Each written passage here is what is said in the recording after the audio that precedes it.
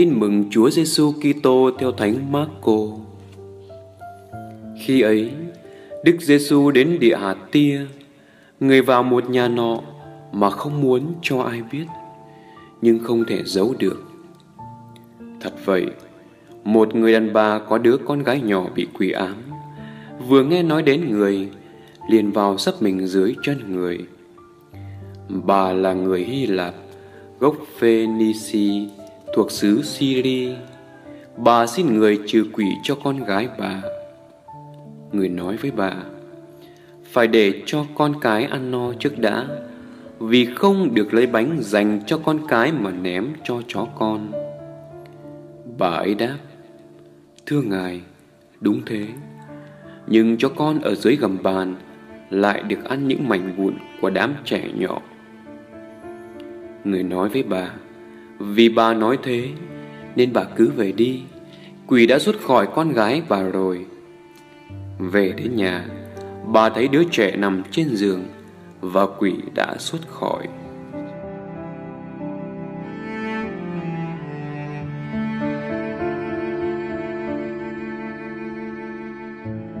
Người Do Thái thời Đức Giêsu luôn xem mình là dân được tuyển chọn. Vì vậy, họ rất xem thường dân ngoại.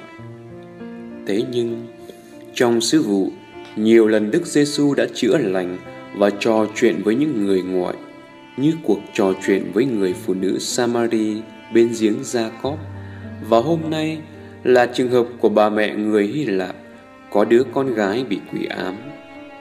Tại sao người lại đối xử tốt với họ như vậy? Thứ nhất, Đức Giêsu cảm thấu được tình mẫu tử chân thật của bà.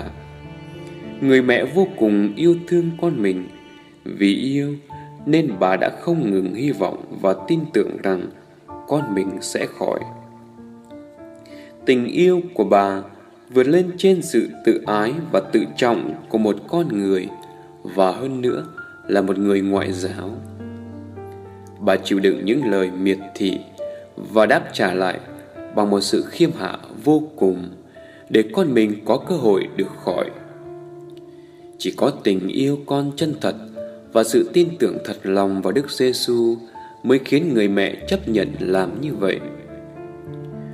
Ai cũng chạnh lòng, huống chi là Thiên Chúa. Thứ hai, bởi vì chính người là tình yêu.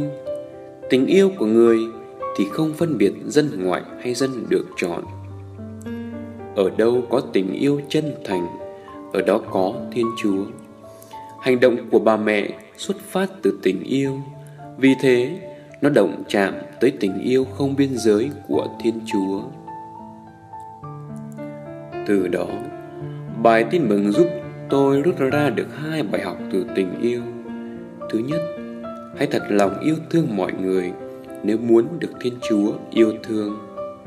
Tình yêu chân thực sẽ luôn được đáp trả bằng tình yêu nhưng không của Thiên Chúa. Thứ hai, phải học cách yêu người bằng một tình yêu phổ quát cho tất cả, chứ không phải chỉ yêu những người đặc biệt bên cạnh mình, những người có ích lợi cho mình. Lạy Chúa, xin mở rộng quả tim con, để con biết yêu thương tất cả mọi người xung quanh ngay cả những người không hợp với con. Amen.